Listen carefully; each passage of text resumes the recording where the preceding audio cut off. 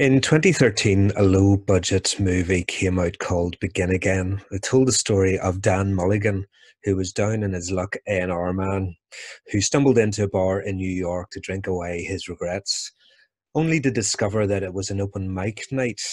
And on the stage, Gretta James, somebody that he didn't know, a young woman, was up singing a song with her acoustic guitar. And something special happened in that moment. This is how the scene plays out. So you find yourself at the subway with your world and a bag by your side. And all at once, it seemed like a good way. You realize it's the end of the line for what it's worth. Here comes the train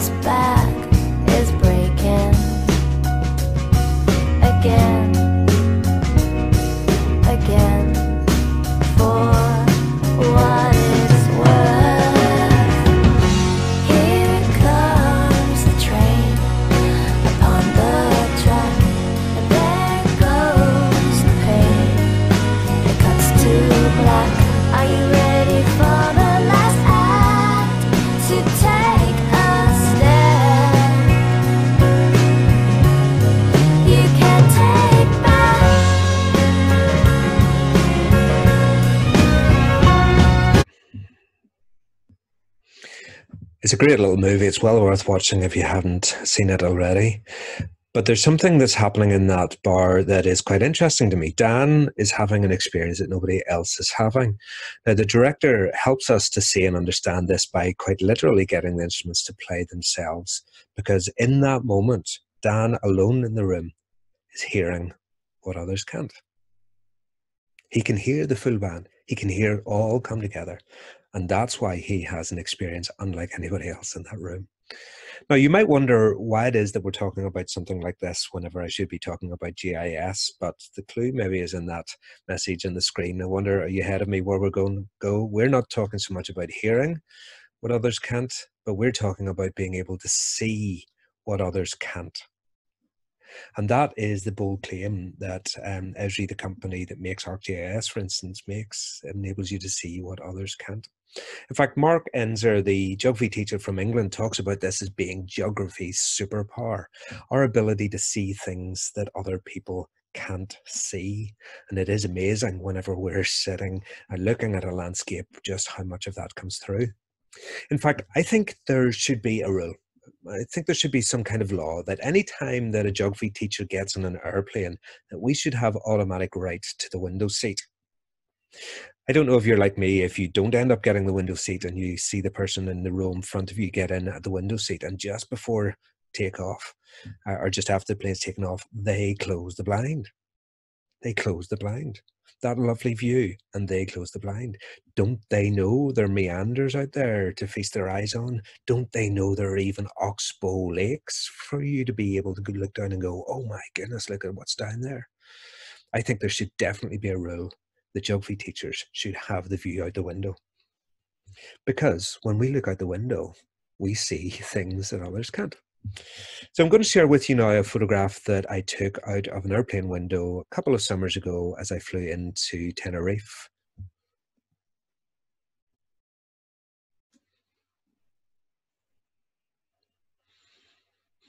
Now, I want you here to have a look and see what you can see. I want you to notice what you see in that landscape. Others would just look out and see a beautiful island. But what are you seeing? You're seeing the topography, aren't you? The shape of the land. You're seeing those deeply incised V-shaped valleys. You're seeing uh, how the uh, drainage pattern has caused that significant erosion in the way down. You're seeing here to the top right the cloud coming in.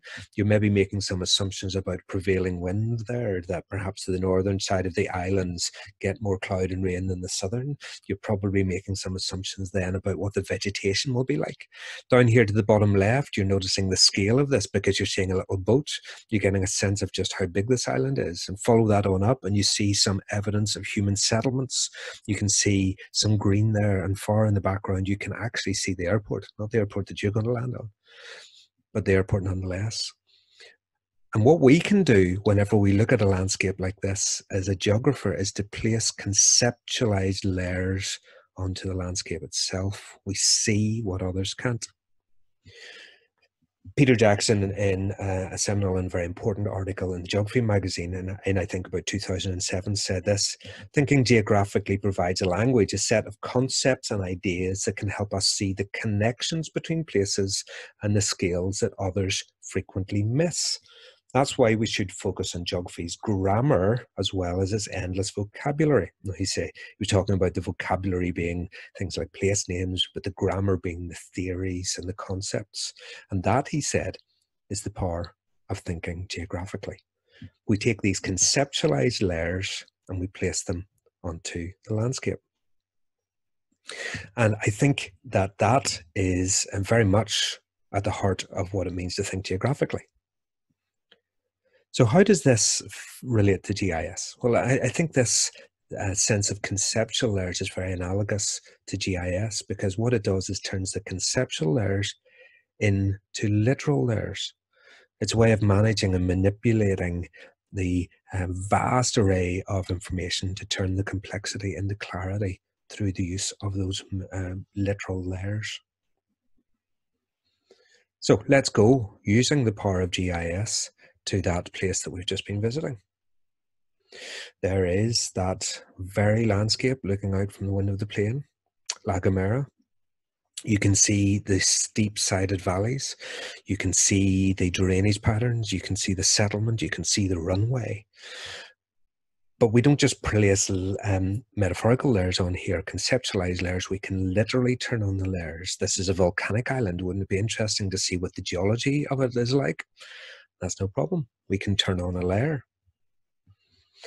And we notice that there's a, a, bit of a pattern here to the geology. I wonder what it's like when we go down here. Um, differences in the geology. I wonder how that relates to the settlement patterns there. Where are the settlements found?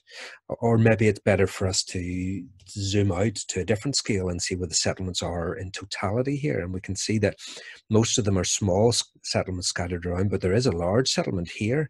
Now, why is it over here? When we zoom out a little bit further, we see, oh, that's proximity to Tenerife. This is a small island. To be able to go from Tenerife across here or from La Gomera to Tenerife is, is a good thing um, to use the services and so forth there. But let's come back into La Gomera a little bit more. Let's look in more specific detail about how these settlements are located around here. Is there a pattern to these settlements? Well, uh, I wonder how they relate to the road network. And um, this is a particularly challenging um, landscape here. The roads can't just go anywhere. There's particular places where they need to go. And we can absolutely see that there's a relationship between the roads and where the settlements are. In fact, if we zoom in a little bit closer, we're able to see that the, the roads are following up through the valley bottoms or zigzagging along the ridges, and that's where the settlements tend to be. So what we're able to do with the GIS is to take those conceptual layers that we have just been considering as we look out of the airplane and we can turn them into literal layers, those layers and many, many more. And we can start to see that uh, set of relationships and patterns that exist in this landscape that we were encouraged to look at. So, why should we study GIS? I guess I would take a step back and ask a more fundamental question. Why do we study geography? And the answer, at least in part, is so that we can see the world better. So, why GIS? Because that seeing better is enhanced by GIS. GIS enables us to do geography better, and that's why it matters.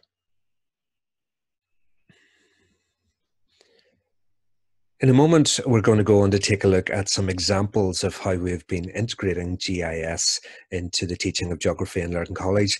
But just before we do that, I want to take a few moments to consider just a little bit of theoretical underpinning for the actions in, uh, that we've been doing.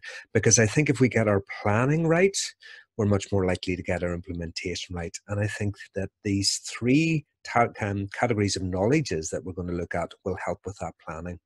The first of them is the know why. This is your pedagogical intent. Just like would be the case with any use of ICT and EdTech within your school, we start with the pedagogical question. What is it in terms of the geography that we want our students to know, understand, or be able to do?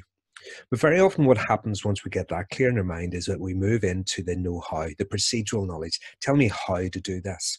That's really not what I'm going to be focusing on here today, actually. I'm going to be covering a third category of knowledge that I would call know what.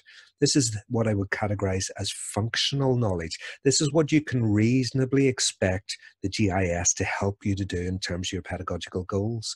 Because I think it's the dialogue between the know why and the know what that really helps with the planning and whenever you get that clear in your mind, if you know what it is that you can do, then there's always ways that you can find out the how, the procedural knowledge. So I'm going to be focusing more on the know why and the know what. It's kind of like this anytime you want to cook, particularly if, like me, you're not a particularly natural cook, you're going to need to follow through step by step. This is like your procedural knowledge, your know how. But cookbooks are always very clever, of course, because just in case you get put off by there's far too many instructions there, they show you this picture, the know what, what is the end result going to be, and that motivates you to dig in to all of that know why because you know this is coming. So it's the conversation between the know why and the know what that are really going to be focusing on here as we go in and take a look now at some of the examples of what we've been doing. One of the core elements that is part and parcel of the teaching of geography is case studies. Um, and part of the challenge we have with case studies is to turn space into place. Now, as I'm sure you'll know, place is space plus meaning plus sense of interpretation with it. And part of the challenge, I think, particularly if we take a look at the CCEA uh, extreme weather event case study, you've only got to look at the impacts, impacts on people and impacts on people. This is Typhoon Haiyan in the Philippines, but I can write a statement like this in their notes. Most of the deaths occurred as a result of the unprecedented six meter storm surge that swept across the coastal plain up to one kilometer inland. And my students can sit down and learn that. They can repeat that in the exam. But what have they really learnt about this place? It's far too easy for a statement like that to be very, very decontextualized. So this is where GIS can come in. Uh, it's a way of really turning place or space into place for them. So this is their investigation of Typhoon Haiyan. We start with the overview just to let them see where it is in the world that you're getting these tropical storms, same storms, different names, different locations.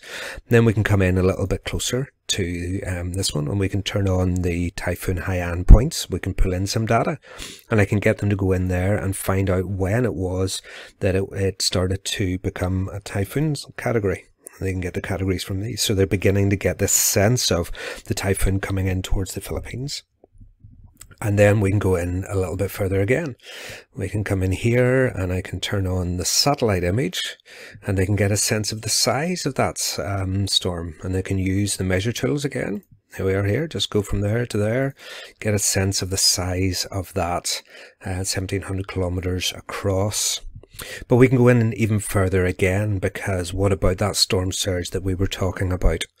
If I turn on this layer of the storm surge damage and I turn on the legend, um, sorry, let me go to this one, sorry, storm surge damage and turn on the legend, um, I can get them to explore the following hypothesis or the following idea um, as distance from the center of the typhoon increases the damage decreases and they can use this key to get a little bit of a sense of that.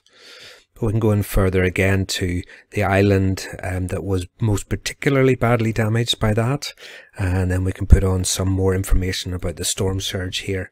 These are symbols that show the height of the storm surge in meters. And again, you could look at the relationship between distance from the center of the storm and the height of the storm surge. And you can click on here and get values 3.6 meters here. Up here, it's dropped down to 1.8 meters, definitely getting smaller. Up here, it is 1.8 meters as well.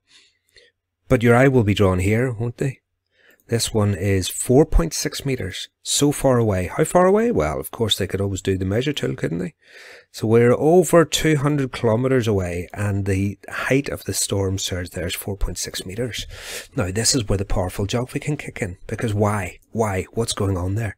And this is the power of the GIS, because you can unleash the ability to go and explore. Now, they might need a little bit of guidance in that one from you as a teacher, but surely part of your explanation could be that the shape here of this area, it's a bay shape. So as the waves are, are come across here, they are funneled in and the height of the storm surge goes up at that point. But they are able to go and have a look and get a real sense of that. And then, of course, we can go into Tacloban city itself, which is mentioned in the case study and I'll just turn off the storm surge. And the key here is showing you the buildings that are damaged and the collapsed. You can get them to look at the pattern there. You can get them to see where most of the red things are and where most of the yellow buildings are. You can get them to relate that to the height. There are the contour lines there as height begins to increase and there's a valley coming through there. That ridge um, there is isn't badly as badly affected. They can explore all of those things. And of course, this being a GIS map, I mean they can literally explore. They can go in and have a closer look at those things. Um, you can get them to go in really, really close to this area and you can start to come down to a really fine grained building by building analysis of what's going on. Um, you can get them to measure tool again and you discover that it's within that 100 meters of the coastline in particular. All of those buildings right next to it were destroyed. Now, when I designed this task, first of all, I used it with my year 13s, I also use it with the year 11s. Um, I got them to look at the distance from the shore um, and the damage or destroyed buildings. But one of my year 13 boys said to me, Mr. Hamill, I'm, I'm just noticing here that these buildings near the coast, is there, is there something in relation to the building size um, and the damage that was caused? I hadn't even realized that or recognized or noticed that when I was designing the task. But unleashing them and giving them control of it enabled that powerful job geography to come in for my students themselves to notice this. And we went on to Google Earth at that point, went and stood in this street here, Esparras um, Avenue, and we realised, of course, these are some more of your shantytown, the very, very vulnerable buildings. These buildings are bigger, more robust, and therefore they weren't being damaged as much, or they weren't being destroyed as much either. Badly damaged, yes, but not destroyed as much.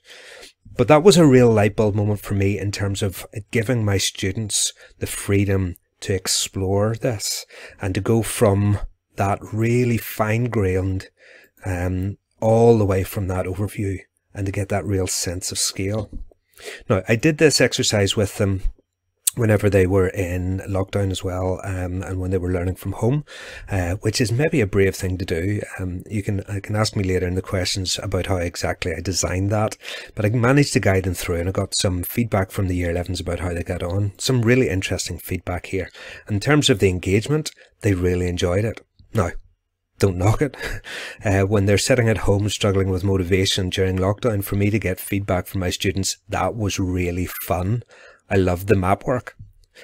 But the engagement can't be the argument alone. There's got to be good geography from this, and they've also got to make, be able to be able to do this. So, uh, what about that know-how? I did say I wouldn't talk much about this, but I suppose there's the know-how in two different categories or senses. There's the know-how in terms of how you would put together what I've just shown you that, and and I'm not telling you today. I, I don't have the time, but the know-how of how to use it which is an interesting know-how because I was able oh, I was able to give this exercise to students during lockdown and I'm getting statements like this. It was very easy to use. And it has been my experience that with a little bit of minimal guidance, the students can access this GIS technology and software really readily. The statement here, um, using the GIS at home was hard at first. Yeah, some of them find it a little bit more difficult, but with the support, look at what they've said. I soon got the hang of it. It was quite fun using the different tools to measure the area and the distance. But what about the powerful knowledge? I love these statements. It was good to see the path of the typhoon in real life map to get an idea of the extent of the damage it caused. I enjoyed measuring the areas of damage and the size of the typhoon because it allowed you to see how devastating these typhoons can be, allowed you to see what they would otherwise not have seen. That compared to that. Hmm.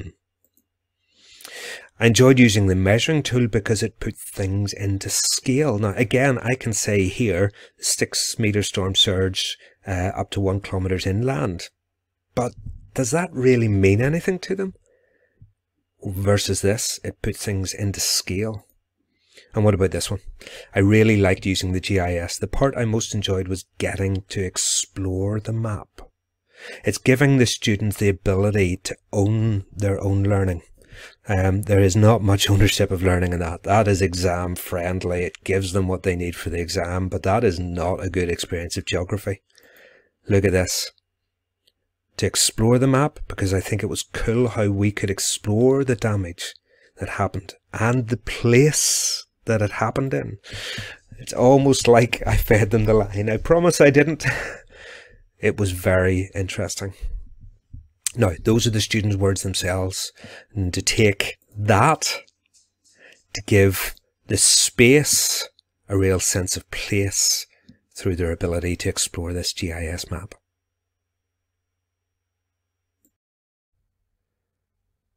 Another way that we can turn space into place is through another one of those core elements of geography, and that is fieldwork. Geography is a spatially contextualized subject. We don't just study rivers in general, we study particular rivers, and especially with the GCSE and AS uh, specifications with CCEA, we get a chance to go out into the field and to collect some data, and very often it'll be in the form of some rivers fieldwork. So, what role can GIS play in the fieldwork aspects of geography? ArcGIS has some other software called Survey 123, which is a data collection app that can be run off your phone and will allow you to collect primary data and crucially to geotag it. Now the first time I heard about it was an event uh, run by Esri Ireland up in Belfast introducing GIS and as I sat in the um, event itself um, this really fired off some ideas for me because as I mentioned earlier on I'm in charge of shared education um, and as I discovered that there was this phone app that could geotag um, some pupil data, I thought to myself, now, I wonder could I get students from my school and our partner school to travel around the town of Lurgan and to do a survey with them about their perceptions of place. And I wonder could we explore what they think about that? And that for me was this dialogue going on here. I at that stage had no idea of the know-how. I didn't know how to make this work, but knowing what the, the um, software could do, knowing that it could do that, and knowing what I wanted to achieve, the know why fed me into the idea. And lo and behold, a few months later, having got some support and training from Esri, we had the students out and about doing this survey and went extremely well. In fact, we were incredibly honoured to be invited over to the Esri User Conference in July in 2019 in San Diego to be the first schools from outside of the United States of America to present at their user conference in front of 19,000 people about the work that we'd been doing using this GIS software in Lurgan. And we had three of our own students on the stage presenting there and doing us all incredibly proud. I could talk easily for all my time and more about all that we've achieved through that. But let me just show you a, a video of the day so that you can get a bit of a sense of the software in action.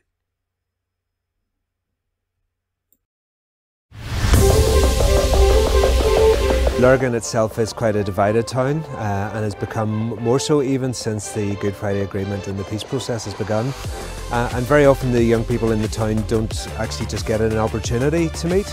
So the essence of the shared education programme is to creating that opportunity.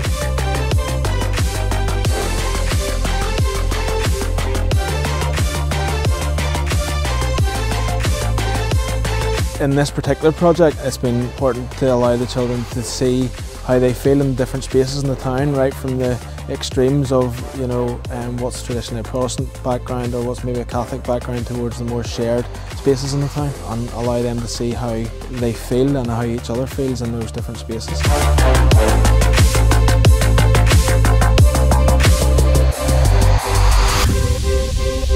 I'm feeling quite comfortable at the chapel here. I'm feeling okay, I'm feeling grand, just it's afternoon time in a housing estate. At 10 pm on Saturday night, I would feel mm, not really, feel uncomfortable with it. I would say I do feel comfortable in my town, but I think that's just because I'm always in my like area of like the divide. I never really am in the other side of town. There's not that many no-go areas in town. I wouldn't consider any areas that I wouldn't go to in Lurgan. Maybe they would feel a little bit more uncomfortable around certain times of the year. Places I wouldn't feel comfortable would probably be down the road in this housing estate down in uh, Kilwilkie area.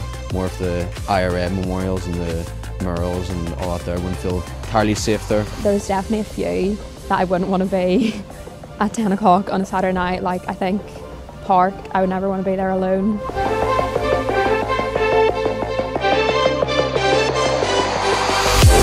We hope to achieve with this project that the pupils will be able to see as they went round today and we've taken the survey that there is across the board a variation of how they feel at the different places and to identify that it's okay that in certain parts some people may feel uncomfortable. But when they identify that to actually start to make steps forward and going right how do we change this? How do we make a difference?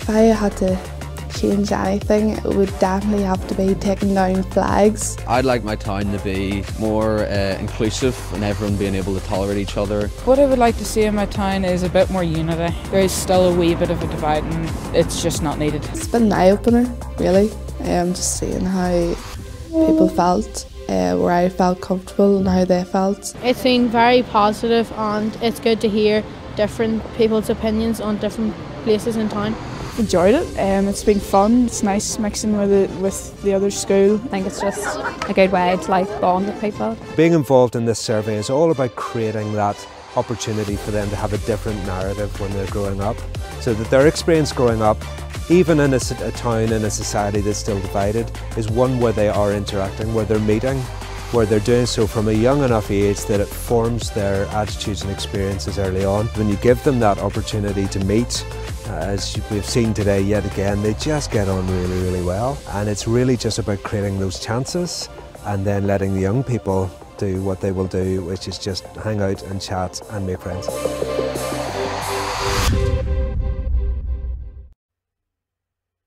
The second example of fieldwork that I'll look at will be our good friend, the Colin River in Belfast. Well, I can't do a presentation about GIS and uh, for geography in schools without mentioning rivers somewhere. Uh, many of you, I'm sure, will actually use the Colin River for your GCSE fieldwork experience, or even if you don't have used some of the others uh, in Northern Ireland, this will give you a bit of a sense of how we can use this. Now, I use it as part of the planning. I'm not going to go into that in huge part of detail today, but uh, I'll show you how we can can use this to look at how the land use varies around it and various bookmarks that they can go to up towards the source and things like that. We can also look at the geology of it, which is a very interesting one because the geology changes considerably as the Colin River moves down through the Colin Glen. Any of you who do your fieldwork here will know this. But what I want to do is to show you how this can be used to present the data that you've collected.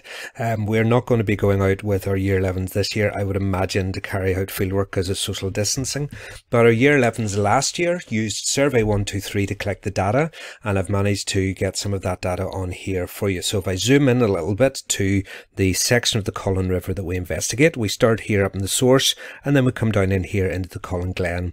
And I can turn on this fieldwork data, which can show you where that um, data is located. So you can see the survey points that we went to up near the source, um, and you can see how this is used as a presentational tool.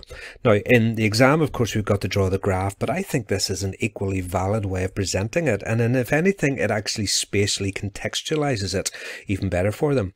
But because this is GIS, you can have a lot of extra information in with the circles that are presented here, because I've got not only the um, depth, which I think is the one that's presenting there, but we've got the, the width, you've got the average depth, you've got the description here and the velocity. And for each one of these points, we have got this information. And what they can do is to go and collect that information there and interrogate it and go and have a look at it and see what is presented. And it's also, um, we like to get them to use the photograph function here, uh, take a photograph supposedly of the river itself, but of course they like to take photographs of themselves posing in it, don't they? So that is presenting the data here, and it is, to me, a very, very legitimate way of presenting it. You can use this alongside a graph, but that's an incredible data presentation tool. That's not the only way you can present this data. Let me show you what else you can do with it. I showed you at the start of this presentation how ArcGIS can represent information not just on 2D maps, but on 3D interactive landscapes. And that you can take the data that you've collected through Survey 123 and you can put it into this. It's called a, a scene. And you can really contextualize the data into the particular landscape itself.